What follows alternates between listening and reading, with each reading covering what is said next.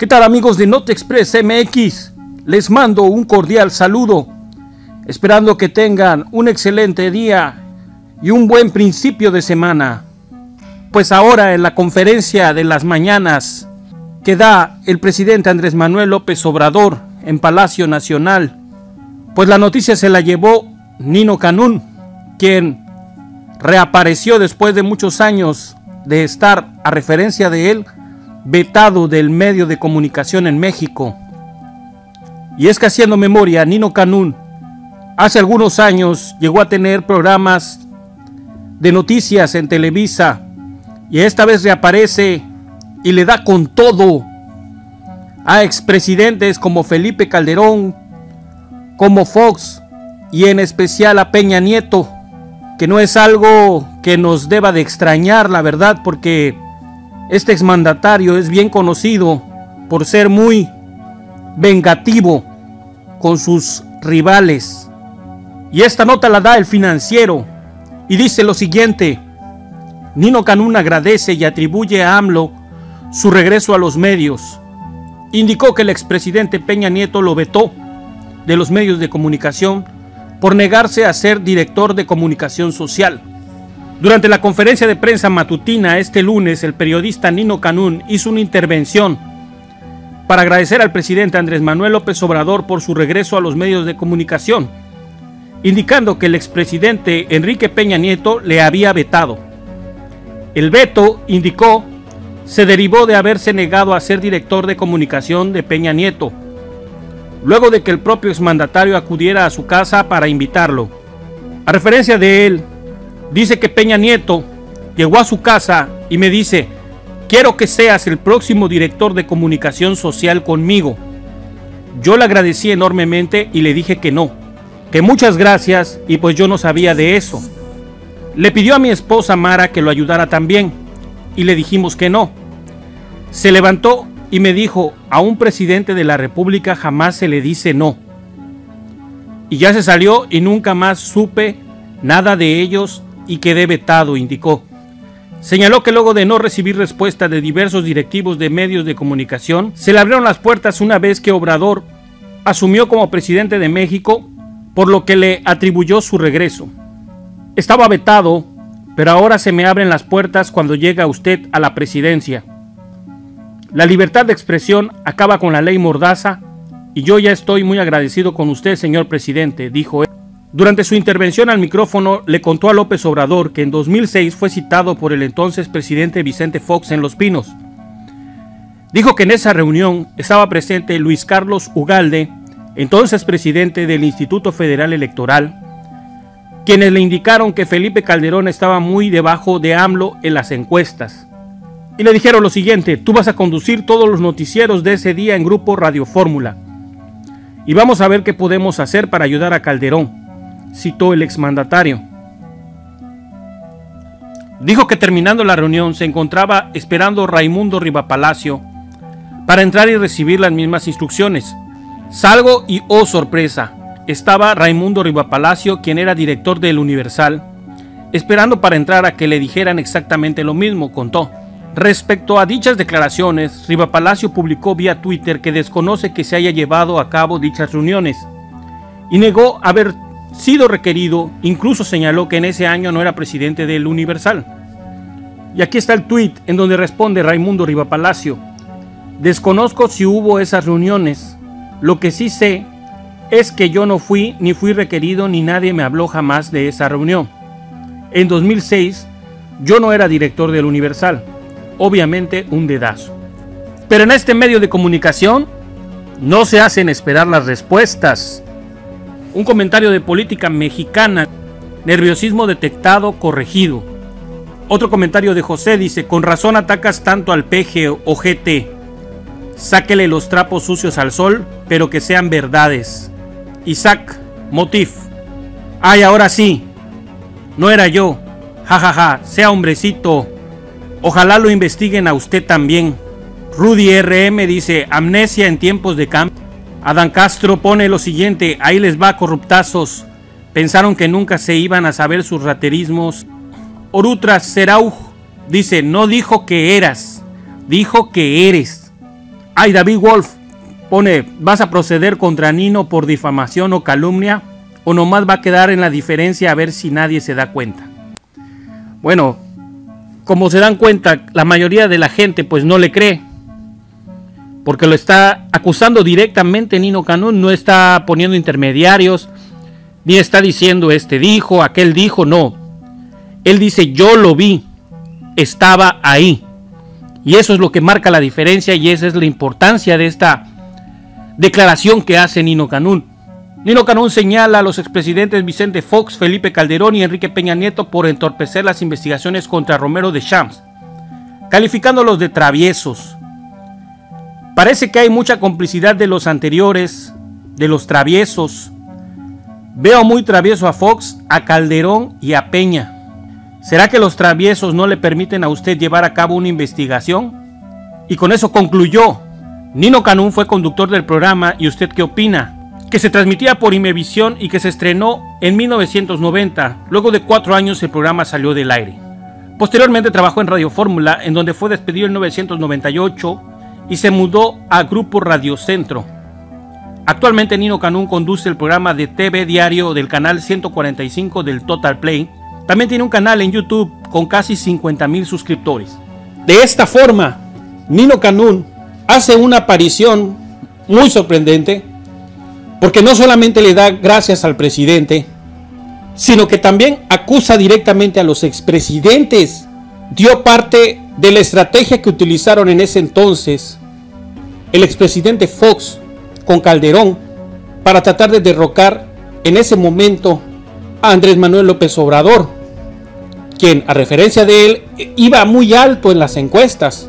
Y tiene mucha importancia porque hay que recordar que en esas elecciones donde quedó Calderón, mucha gente piensa realmente que existió un fraude electoral y que por eso tuvimos que soportar durante seis años el mandato de Calderón.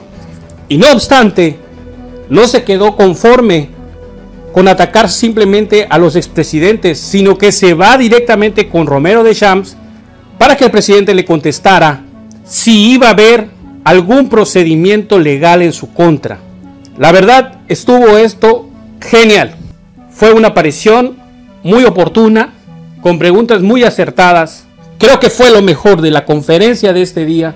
¿Y ustedes qué piensan? Déjenmelo en los comentarios, por favor. Agradezco mucho el tiempo que se toman para comentar. Desafortunadamente a veces son muchos los comentarios que hay, no puedo contestar todos trato de contestar la mayoría, lo que me es posible contestar. Sin embargo, si los leo. Les pongo un like o les pongo un corazón. Y pues por mi parte eso es todo. Esa es la noticia que yo les quería compartir. Espero que les haya gustado.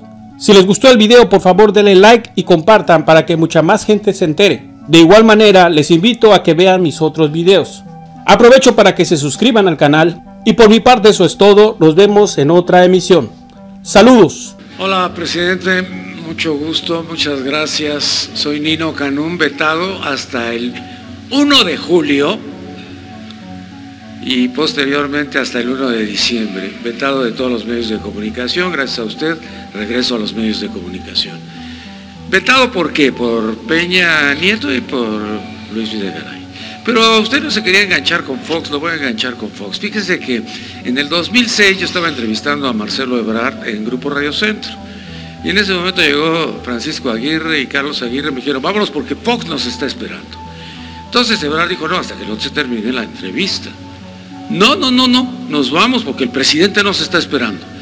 Bueno, pues ya llegamos a Los Pinos y, oh sorpresa, estaba el presidente Fox con Luis Carlos Ugalde, presidente del IFE. Dije, ah, caramba, se juntaron ambos. Y en ese momento dijo, pues en las encuestas va muy abajo Calderón y López Obrador es un peligro. Vamos a ver qué tenemos que hacer para ayudarlo a Calderón. Bueno, tú ni no vas a conducir todos los noticiarios de ese día, vas a conducir todas las estaciones radiofónicas del Grupo Radio Centro el día en que se lleve a cabo la elección. Bueno, pues este, estamos en tus manos. ¿ya? Ahí se terminó, ahí concluyó. Salimos y, oh, sorpresa, estaba Raimundo Rivapalacio, director del Universal, y el señor Ili Ortiz esperando entrar para que les dijeran exactamente lo mismo. Usted no se quería enganchar con Fox, pero yo creo que ya se enganchó en esto. Y la otra, fíjese que pues eran 1.680 millones de pesos que se tomó el señor eh, Carlos de Champs, Carlos Romero de Champs, para entregárselos a la Bastida. Se dijo que no se los dio a la Bastida, que se los dio a Emilio Gamboa. No, que no se los dio a Emilio Gamboa, que se los dio a Esteban Moctezuma, actualmente secretario de Educación. Pero no. Emilio Gamboa dijo, no, no se los dio a nadie, se los dio a Diodoro Carrasco, que era el secretario de Gobernación con Cedillo. Pero bueno, pues ahí se quedó ese dinero y ganó Fox. Qué raro, ¿no? Si tenían 1.680 millones de pesos que jamás utilizaron. Enrique Peña Nieto llega a mi casa y cuando llega a mi casa me dice, quiero que seas el próximo director de comunicación social conmigo. Entonces yo le agradecí enormemente, le dije que no, que muchas gracias, que yo no sabía de eso, cómo iba a ser director de comunicación. Le pidió a mi esposa Mara que lo ayudara también y pues le dijimos que no, que muchas gracias y entonces se levantó y me dijo, a un presidente de la República nunca se le dice no. Y se salió y nunca más volvió a saber de nadie de ellos y quedé vetado. Y yo me pregunto, con todo esto que ha venido sucediendo y que se habla mucho de Romero de Champs, ¿Romero de Champs va a tener algún problema? Porque hay un frente independiente petrolero de Sergio Morales, creo que se llama, que tiene no sé cuántos años pugnando porque, bueno, pues investigue a Romero de Champs, pero parece que pues hay mucha complicidad de los presidentes o de los anteriores, como usted dice se ven muy traviesos. Yo veo muy travieso al Fox, veo muy travieso al Calderón y veo muy travieso al Peña, como usted menciona. Entonces, ¿no será que, bueno, pues los traviesos no le, no le permiten a usted poder llegar a cabo una investigación? Y nuevamente, señor presidente, muchas gracias, porque gracias a usted regreso nuevamente. Y le quiero decir, que estaba yo esperando la llamada de Emilio Azcárraga porque lo fui a ver a Televisa, la de Ricardo Salinas de Televisión Azteca y de Tristán Canales que nunca me hablaron, Olegario Vázquez que yo creo que perdió mi teléfono, eh, MBS de Vargas pues me dijo ya contratado y nunca más me volvieron a llamar. Parecía que estaba yo vetado, pero ahora se me abrieron las puertas cuando llega usted se abren las puertas, la libertad de expresión termina con la ley Mordaza y yo soy muy agradecido al presidente de la República, y muchas, muchas gracias, señor. Bueno, muchas gracias, Nino. Este, pues qué interesante, ¿no? Poder tener estos diálogos eh, abiertos, que hablemos aquí con eh, libertad y con franqueza. Eh, esto es la comunicación sin censura. Felicidades por regresar, ¿sí? que te vaya. Gracias a usted. No, no, no, no. Si usted no, hubiera llegado a la presidencia, yo seguiría vetado. No. Tenía yo la sede, pero yo no. Vamos a decir que es por la voluntad de los ciudadanos que decidieron que lleváramos a cabo un cambio en el país. Eh, fueron millones de mexicanos que votaron por un cambio verdadero. Y acerca de lo que estás diciendo de Romero de Champs, a una pregunta del Reforma, yo dije que íbamos a solicitar información sobre el estado que guardan las denuncias contra Romero de Champs. Si existían denuncias sobre robo de combustible, y ya pasó el tiempo, eh, yo hago el compromiso con ustedes de que pasado mañana informamos. Eh, ya había una solicitud que se hizo, gobernación hizo la solicitud a eh, la Fiscalía General, se dio una respuesta pero se está indagando más. ¿Se acuerdan que surgió el tema porque hubo una investigación periodística? Yo dije, bueno, esa es la investigación periodística, pero vamos a ver qué pasa en eh, el proceso legal judicial, porque no podemos solo basarnos en una investigación periodística. Entonces estamos eh, recabando información para ver cómo están estas denuncias, si existen estas denuncias y aquí, con toda transparencia, este, informarlo a ustedes. Pasado mañana. Señor presidente, muchas, muchas gracias. Gracias a usted, regreso a trabajar. Gracias a usted, no al pueblo de México.